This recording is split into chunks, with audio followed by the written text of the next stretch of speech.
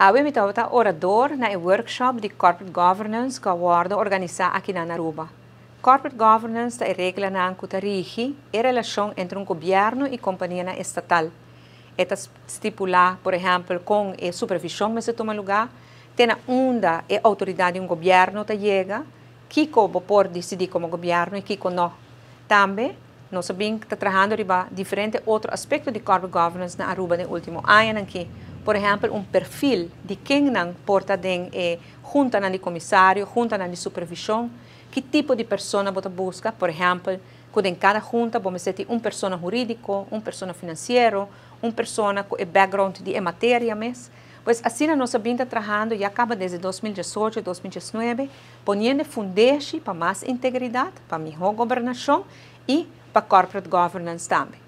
Aqui, me instituí uma comissão, comece corporate governance, que trabalha diferentes produtos no último tempo aqui, eh, e na hasi também um tipo de estudo para nós como nós parar com a companhia estatal e como nós adherir na regra aqui.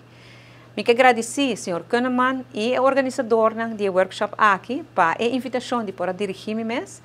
Integridade para mim é algo muito importante, me para explicar em meu discurso que o turno sabia está fazendo desde 2018 que me assumi a carteira de integridade e agora que na 2021, agora como passei na colega ministra Ursula Arens, que está donando conteúdo na visão.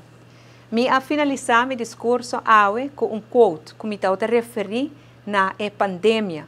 Que agora que nós estamos recuperando de pandemia e danke Deus, a Aruba está recuperando bom, nós ter mais aún trabalhar a integridade. Para Kiko, para a integridade está dando ao cidadão confiança confiança no governo, que o governo está administrar uma companhia estatal na forma devida.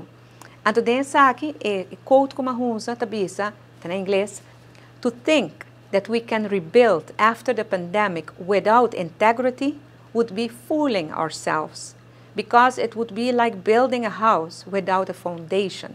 Quer dizer, nós queremos que nós podemos recuperar nosso país depois da pandemia, sem worry, sem pôr atenção na integridade, nós não estamos tomando nós mesmos a sério. A pessoa também como está trabalhando um caso sem um fundeixe. Essa é integridade, tá? Essa é corporate governance, tá?